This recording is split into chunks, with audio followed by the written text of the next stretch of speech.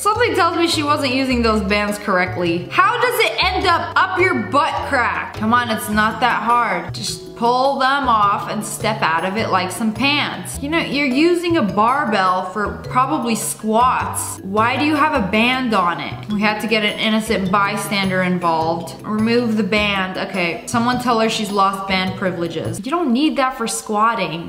My neighbor's dog smells the chicken I'm grilling. No, because I have one of these on my balcony. I am so scared of my dogs like sticking their snout through it. They are tiny dogs. They might be able to like go through it. But that's a big dog. But all he could do is watch. I'm not gonna let you chillins have all the fun. She jumped into the foam pit. Oh, she got stuck. And we have two guys helping pull her out. You know, these things are usually for kids for a reason. You know, I hate to see the chillins have all the fun. I don't think Deborah's gonna be jumping in any foam pits anytime soon.